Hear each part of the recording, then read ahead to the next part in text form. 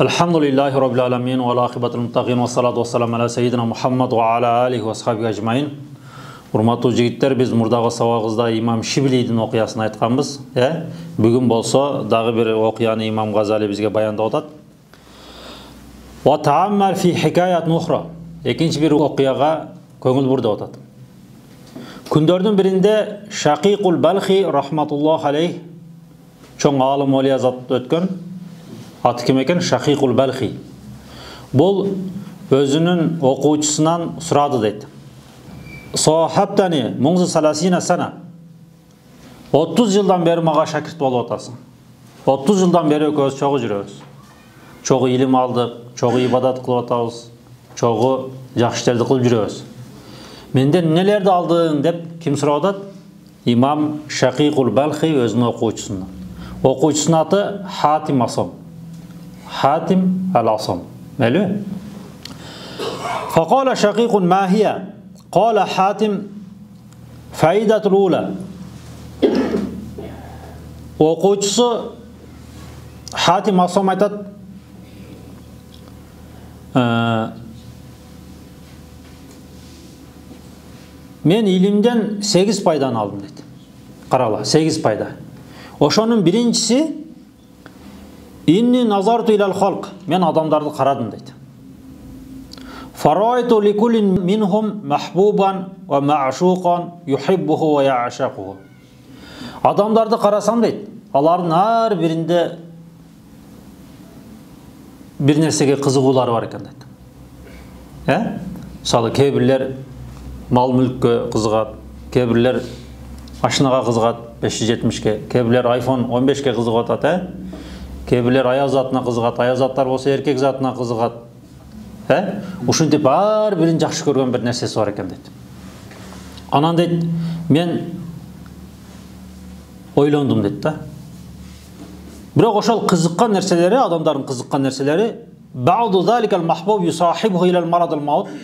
кээ бир кызыккан нерселери ошол адамдын өлүмүнө чейин барат экен дейт кээ бирлери болсо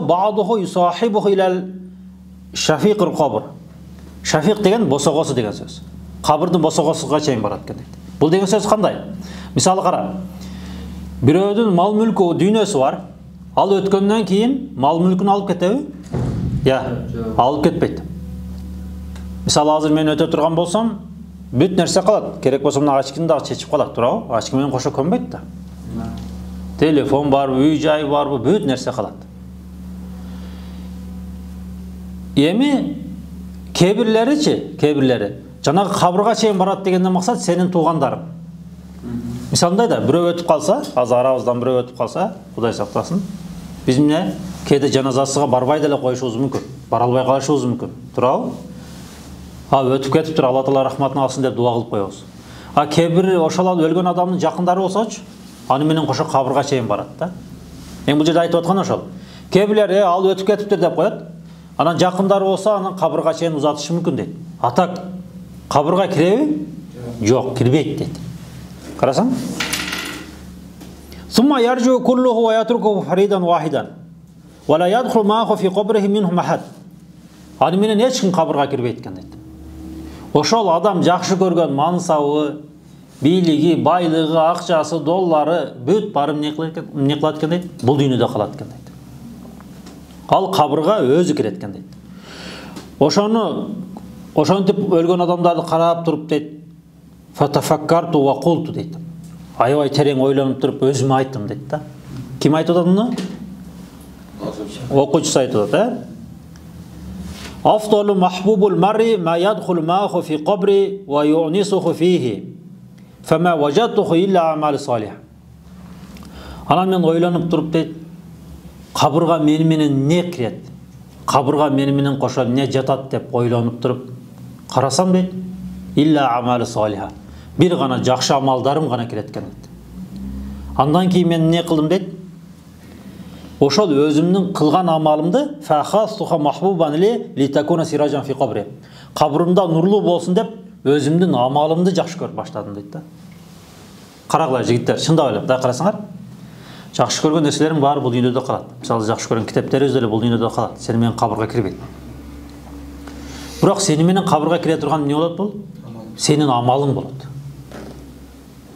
ә ошон үчүн биз эмне кылабыз кылган амалыбызды жакшы көрүшүбүз керек азыр мисалы мына психологдор коучтор чыгып кетпедиби адам өзүнү сүйүш керек депчи туура бизде динде деле адам өзүн сүйүш керек өзүнө караш керек ден соолугун караш керек өзүнө код бериш керек дегендейчи бирок эмне кылыш керек ошонун жанында амалыны дагы сүйүш керек да анткени кабырга киргенден кийин анын амалы кошо кирип амалы эмне кылат жардам берет да эгер биз чындап эле жашообузда өзүбүздүн кылган жакшы амалдарыбызды аллах жолунда кылган жакшы амалдарыбызды жакшы көрө турган болсок биз толтура психологиянан толтура стресс депрессиядан кутулабыз да мысалы азыр адамдар стресс депрессия болып тұрып кімдерге барып жатады психологтарға барып жатпайбы туурабы ал эмне элет ошол жерде кичине газдап коюшу мүмкүн тигиничи бул дүйнө өтөт кетет андай мындай депчи бирок мына чыныгы куран менен сүннөттүн психологиясын карасаңар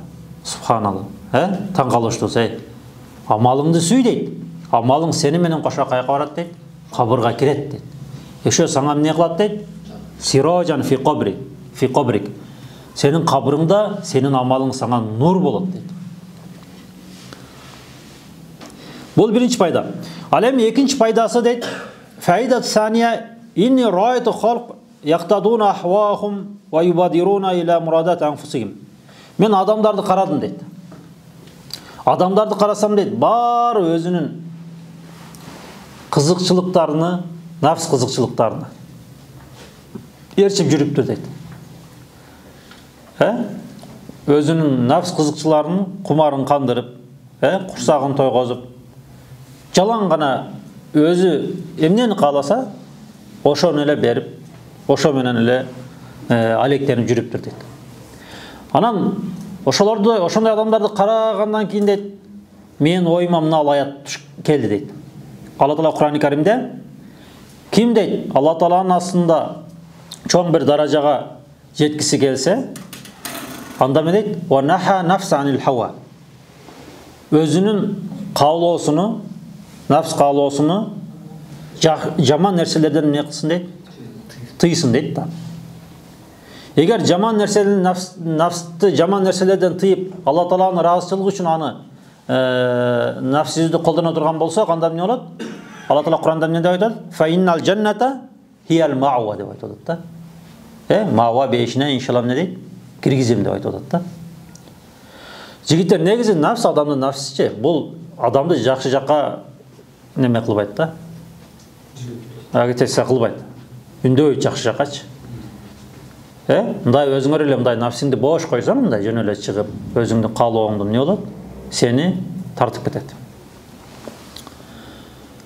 анан бул аятты ойлонгонумдан кийин өзімдің нафсіме қарсы іштерді қылып баштадым. Өзінің нафсіне қарсы нафс қалауларына қарсы іш қандай болады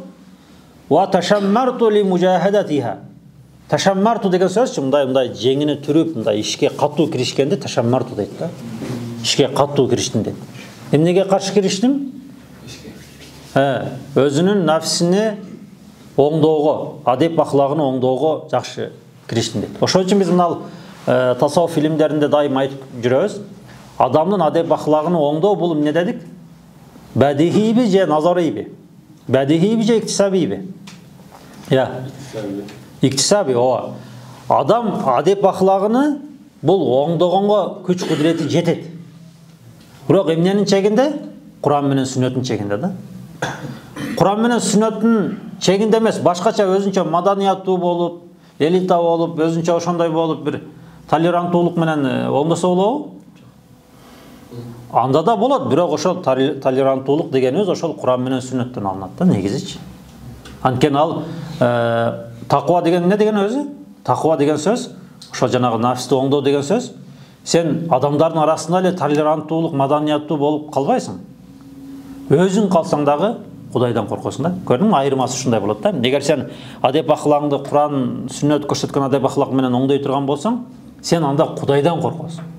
Сен ешкім жоқ жерде дағы құдайдан қорқасың да туурабы а так жөн эле мындай эле маданияттуу болуп андай мындай дей турган болсоң анда сен адамдардын жанында аябай маданияттуу болуп өзүнчө супер болушуң мүмкүн туурабы бирок өзүң калганда эмне дагы эле жанагыдай нафс сени сенин каалооң сени азгырып кетиши мүмкүн да. Канчалаган илимдүү билимдүүлөрдү көрүп атабыз э жигиттер мына коррупциянан башыбыз чыкпайт баардык эле жерге барбайлы ошол эмне себептен болуп атат ошо кудайдан коркпогондуктан да. Бирок ошол коррупция алып аткан адамдын мисалы текшерип келе турган болсоң аябай илимдүү билимдүү маданияттуу толеранттуулугу психологиясы жанагы аябай жогору деңгээлде мисалычы кругозору аябай жогору деңгээлде. Бирок эмне кылат? Ушундай иштерге барып коюп атпайбы ал эми куран сүннөттүн чегинде бул адеп ахлагын оңдогон адам бул эмне болот экен? Кайсы жер болбосун жакшы адам болот. Кайсы жерде болбосун өзүнү кудай мени көрүп турат деген сезимде жашайт да. Экинчисин түшүндүк э жигиттер? Экинчисин адамдар бүт нафси каалоолорун ээрчип жүргөн экен анан мен бул аятты окудум дагы ойлоп анан өзүмдү эмне дейт? Адеп аклагымды оңдогонго аракет кылдым дейт. Ал эми үчүнчүсү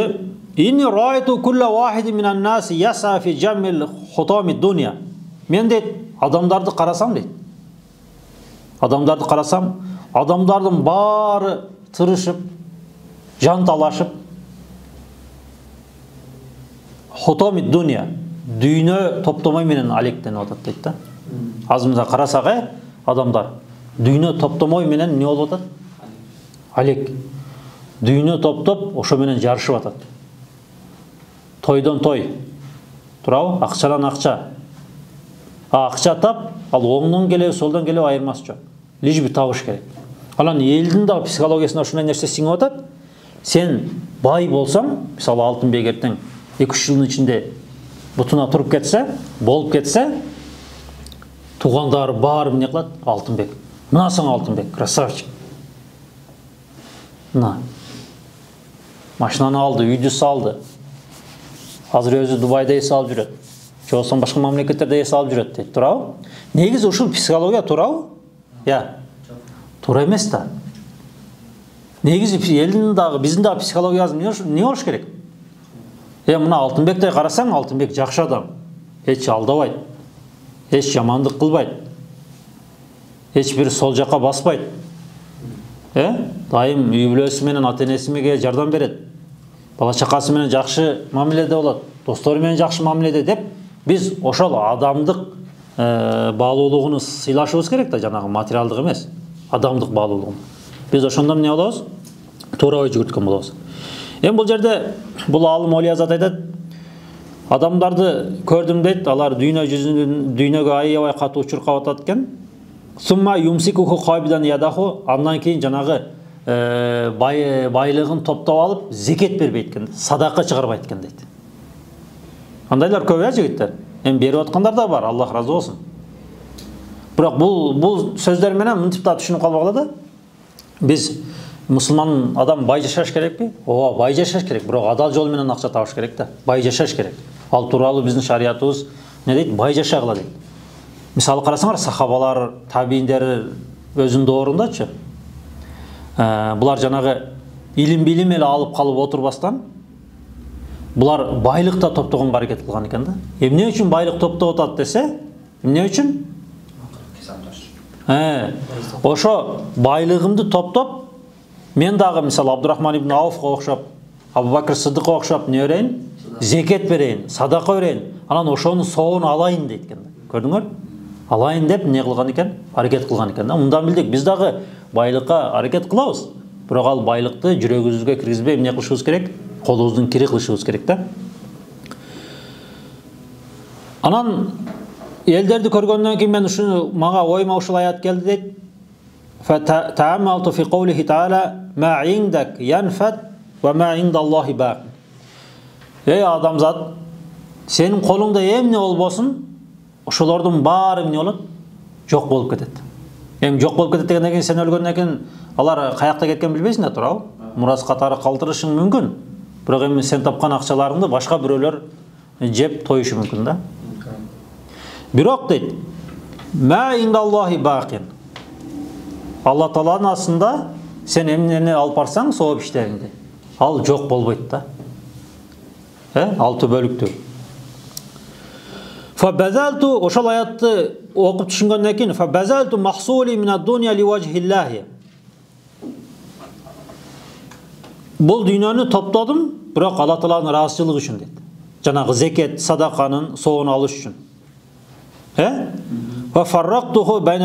анан адамдардын арасында эмне кылдым дейт ошо топтогон мал мүлкүм аз болсо дагы эмне кылдым дейт кудай үчүн аларды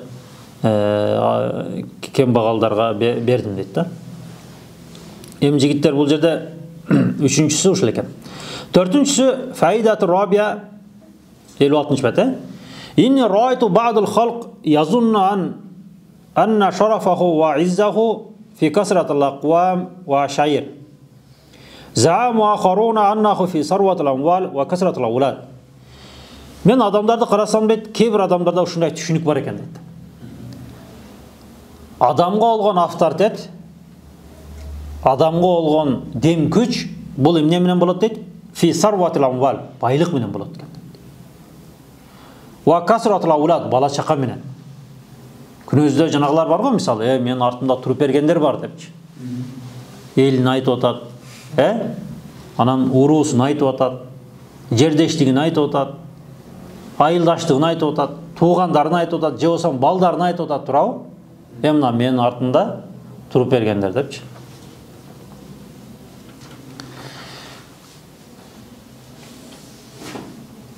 уахасиба баудухум кейбірлер ошол авторитетти эмненен издейт десе фи би нас ва зулмихим адамдарды тоноону авторитет көрөт экен да аларга залым кылууну алардын канын төгүүнү алардын барып эле күчкө салып туруп муштум менен анын мал мүлкүнү тартып алганын жакшы көрөт экен. Бул көрүп эле атабыз э? Мына бандиттерди айтып атат да мындайча айтканда бирок азыр бандит болбой туруп эле жанагыдай документ иштери менен деле канча адамдардын мал мүлкүн тартып алгандар болуп атат го э бул жерде бир гана бандиттерди айтсак деле болбойт да. Мисалы бирок мисалы биз айылда жүргөндө жанагы бригада деген кино чыккан болчу э барыңардын эсиңерде бар. Ошо бригададай болуп басып карасаң ошону лидер тутуп атат да адамдар. Же болбосо андан кийин эмне рекетер деген кинолор да чыктыбы мындан билди бул айтып атат адамдар ушундай авторитетти ар нерселерден издейт экен дейт да. Анан ошолорду мен көргөндөн кийин дейт алла тааланын ушул айткан сөзүнү ойлодум дейт алла таала курани каримде э силердин астыңарда эң жакшыңар эң кыйыныңар кудай таалага такы болгонуңар деген ойлодум дейт да. Ошол аятты ойлодум дейт аны аятты оқып түшінгеннен кейін фахтарту тақуа тақуашылықты таңдадым дейді аннал құрана хаққун садиқун шындап құран тура айтады деп тұрып мен тақуашылықты қармадым дейді да анткени тақуа болғанда адам не болады жігіттер құдай үшін барлық жамандықтардан тыйылып жақсылықтарға чуркайды Эми бешинчиси фаидатул хамис инни райту нас ядумму баудухум бад баяхта баудухум бад мен дагы бир канча адамдарды карасам дейт адамдар бири бири менен кырылышат экен дейт бири бирине көрө албастык кылат экен дейт э бири бирине көрө албастык кылат экен فوجدت ذلك من الحسد في المال والجاهل والعلم анан ошол кызгануусуну көрө албастыгыны күчөйтүп ошонун айынан бири бири менен кырылышып урушат экен дейт ошондой адамдарды карап туруп дейт менин оюма бул ушул аят келди дейт алла таала курани каримде нахну алла таала эмне деп айтып атат бул дүйнөдөгү рызкыңарды биз силерге бөлүп бердик бөлүштүрүп бердик деп айтып атат ошол аятты ойлодум дейт да эми карагыла жигиттер ушул жерде бул карап турсаңар мисалычы көптөгөн адамдар бар да алла тааланын рызкысыны тагдырына рызкы жазгандагын рызкысыны мол кылып жазып ал чындап эле бай жашайт бирок анчалык эле катуу аракет кылбайт же болбосо ата энеси бай тууган уруктары бай эми эбептен себеп болуп эмне байлыгы күн сайын өсөт да. Анан бирөөлөр бар аябай катуу аракет кылат бирок эмне болот ал анчалык байыбайт да. Түшүнүп атасыңарбы мындайча айтканда бул рызкы жагы да жигиттер рызк маселеси дагы бул кудайдан бирок биз алма буш озма түштүп эле жатабызбы жок биз аракет кылабыз биз айтканбыз э дуа эки түрлүү болот дегенбиз дуа каули анан дуа фиали биз кудай таалага эмне деп дуа кылабыз аллахым мага пайдалуу илим бер рызкы бер деп туруп дуа кылабыз анан ошону бул дуа эмне болот каули болот анан дуа фиали дегени биз ошого аракет кылабыз бирок биздин аракетибиз тиги дүйнө дүйнө дүйнөгө жанагы чачтын учунан баштап бутунун учуна чейин дүйнөгө кирип алгандар бар го алардан биздин айырмабыз бар да. Биз деле аракет кылабыз дүйнө үчүн туурабы бирок биздин ал нерсе дүйнө жүрөгүбүзгө кирбейт да. Ал колубуздагы кирибиз болот азыр көрөбүз кээ бир адамдарчы ушунчалык дүйнөгө катуу кирип стресс болуп атат туурабы жети жаштан жетимиш жашка чейин адамдар эмне болду кантип акча тапсам деп ойлоп калды мейли тапкандар таап байыгандар байып атат бирок анда дагы ал аракетине жараша. Бирок биз ага бир жагынан жанагыдай да кылып албашыбыз керек да кызганып албашыбыз керек. Эмнеге анткени алла таала мына курани каримде айтып атат мына биз бөлүп беребиз рызкын ошон үчүн рызкы алла тааланан биз кээде ошол рызкыны сага жете турган рызкыны эле эмне кылыш керек? Адал жол менен тапканга аракет кылыш керек да жанагыдай шашып ага аракет кылып ага стресс болуп эле кантип акча тапсам деп азыр ушундай бир адамдар немеге кирип алды го бир жанында ошондой адамдардын жанында отурсаңчы мындай.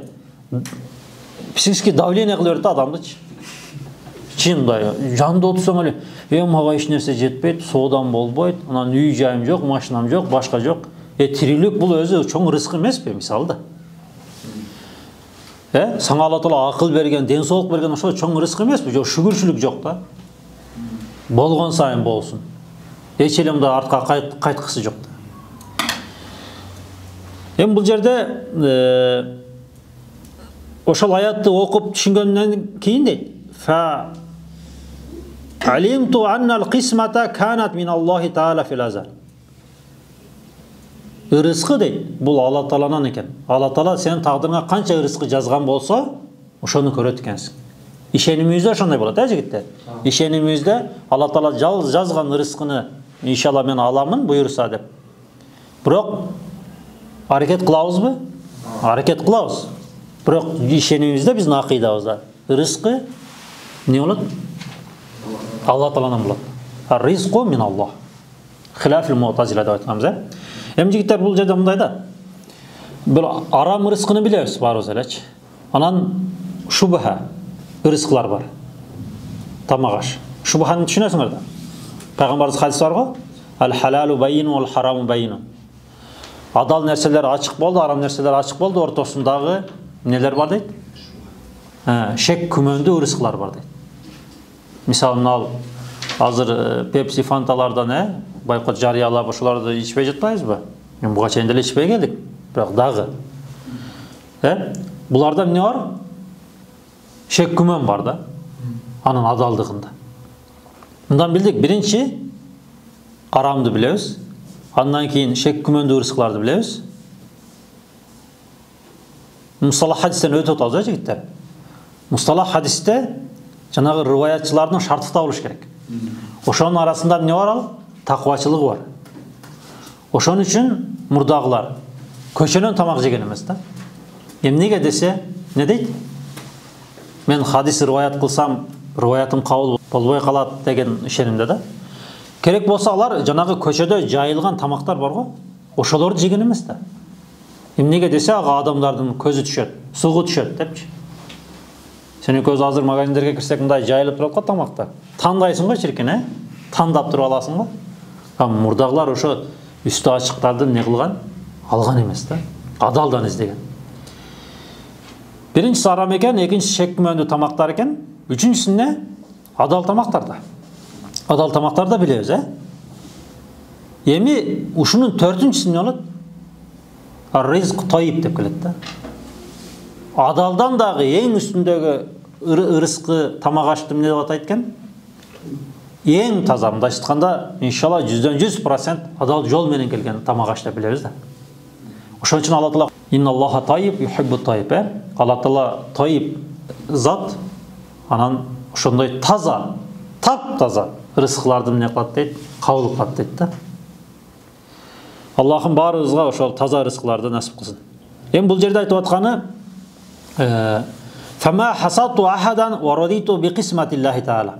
мен ошол нерсенин баарын түшүнгөндөн кийин дейт мен алла таала берген рызкыга шүгүр кылып кызганууну эмне кылдым дейт жоготтум дейт да. Чындап да. Ошондой да туурабы анткени жигиттер билебиз соодада да көп ырыскын дагы келүүсү соодадан болот жалганчылыктын дагы көбү соодадан болот да. Бир күн бирөө айтып коет сен дейт базарга түссөң дейт сен өзүң мындай сага келбетиң жакшы эмес дейт бирок базарга түссөң сен сонун болуп чыгасың дейт да. Көрсө е сиз красавчик экенсиз келиңиз деп туруп сага сонун кийимдерди жарашпаган кийимдер деле жарашты деп турупчу сонун кылып эптеп септеп менден кеткиче сага жеткиче дейт го эптеп эмне кылыш керек? Сатыш керек да астафирулла. Ошол соодада жалганчылык кызгануу көрө албастык алдамчылык көп болгондуктан бул жерде айтып атат эми алтынчысына келдик жигиттер андан кийин жетинчиси бар анан бүтөт алтынчысында инни нас юади ли горады ва сабаб мен дейт бир канча топтогу адамдарды көрдүм дейт булар дейт бири бирине душмандык кылат экен дейт да. Себептер ар түрлүү болушу мүмкүн туурабы себептер ар түрлүү болушу авторитетке жетүү себеби болушу мүмкүн мал бийликке мансапка э айырмасы жок түрлүү түрлүү себептер болушу мүмкүн ошо ошол нерселерге жетүү үчүн дейт бири бирине душмандык кылат экен дейт анан ошондой адамдарды карап туруп дейт оюма шыр мына аят келди дейт алла таала курани каримде инна шайтана лакум аду адуа шайтан силердин душманыңар э душманыңардан сактангыла аду мубин деп келет го шайтан биздин ачык душман эми шайтан душманыбыз бар э? Жанагыдай каалоолорубуз шахватный каалоо же болбосо нафс каалоолорубуз эми алар каалоолор тууралуу дагы өзүнчө бир өтөбүз жигиттер нафсуламара деп келет го жана курандардачы алардын өздөрүнүн даражалары бар. Эми ошондой нерселер аду душман экенин билгенден кийин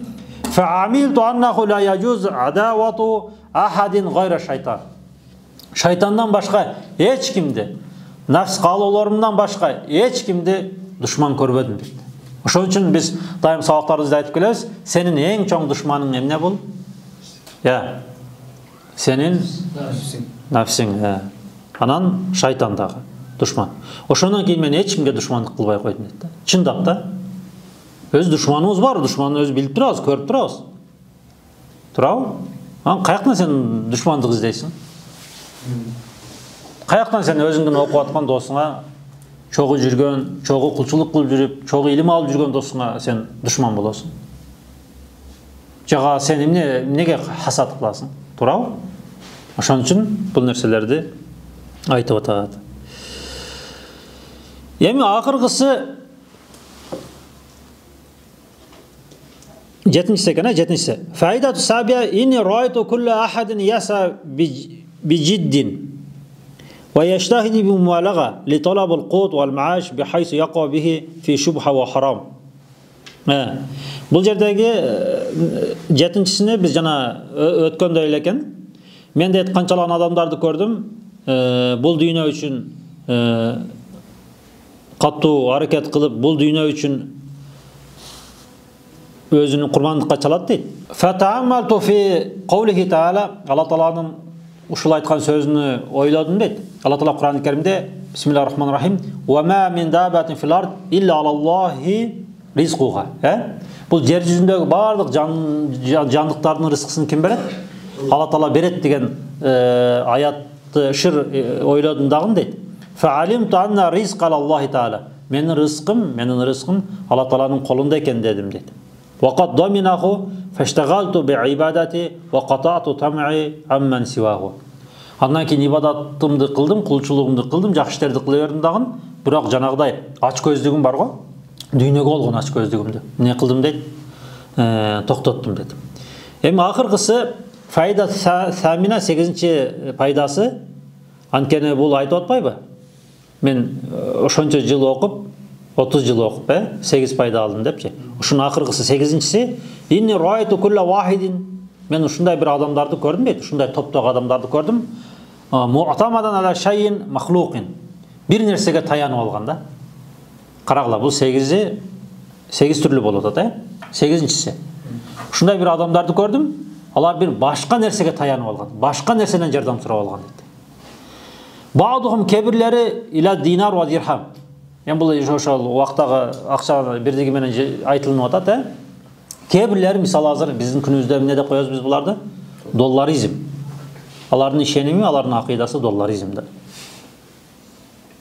долларга сыйынгандар кээ бирлери долларга сыйынып кетиптир дейт кээ бирлери мал вал мал мүлүккө э депутат болсом министр болсом президентский аппаратурада иштесем президент болсам президенттердің үстінен башкарсам деп элечи ушундай да мал мүлк. Ал эми кээ бирлери ва азыр мына технология заманы деп мына ошол нерселерди колдонуп атпайбызбы жигиттер. Кээ бирлер технологияга неме ишенип алган дейт да. Мисалы мына технология болсо ушул нерселер гана бизди куткарат депчи түшүнүп атасыңарбы ушундай құдайға емес мақұлықтарға құдайдан башқа нәрселерге ишеніп ошолорго таянып алган дейт ошондой адамдарды көргөндөн кийин алла тааланын бул аят айткан сөзүнө ойлодум дейт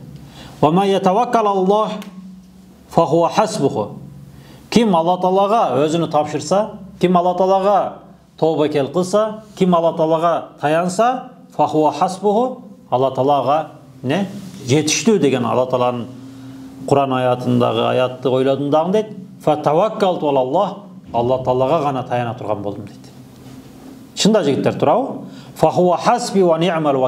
ал алла тағала не дейді жетіштүү болады деп бір ғана алла тағалаға тобакел қылып алла тағалаға таяндым дейді негізі жігіттер тобакелдің дағы шарттары бар иә анда сабақтарымызда айтқанбыз сен тобакел қылғаныңда мысалы азыр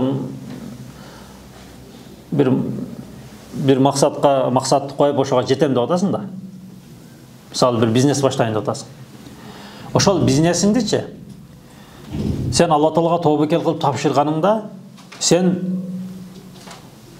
24 саат ошол бизнестин түптөлүшүнө аракет кыласың өзүң 24 саат бирок жүрөгүңдү алла таалага тапшырасың анан 24 саат дегенде жанагы беш уақыт намаз зикір пікірлер қалып кетпесін ә жүрегіңді не қыласың алла тағалаға тапсырасың да тәуекел өзі негізі ошондой болады да тәуекелдің шарттарын да айтабыз андан кейін фақола шақиқун анан мұның ұстазы шақиқ не деп айтып жатады каллаху тағала я хатим хатим деген эле хатим асам шақиқ болчу да шақиқтен шақиқ балхиден анан бул жерде устазы тиги шәкіртіне хатим асамды эмне кылып атат? Мактап атат да.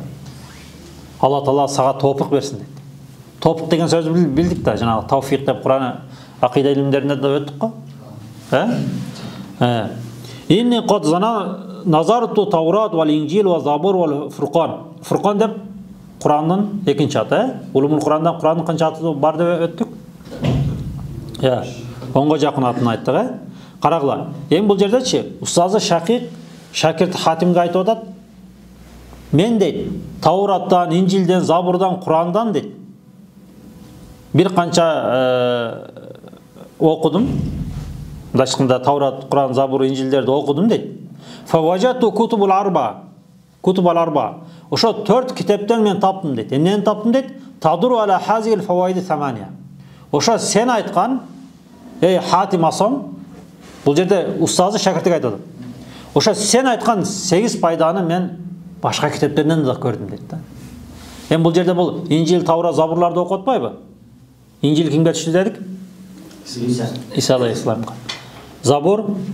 Дауд. Алейхисаламга э таврат муса алейхисаламга анан сухуфи ибрахима ва муса деп да келет э куран анан биздин пайгамбарыбызга түшкөн бул эми бул жерде окудум дегенден максат бул азыр өзгөрүлүп кеткен инжил таврат забурларды окуган жок бул ошол убактагы өзгөрүлбөгөн инжил забур тавраттарды окуган да.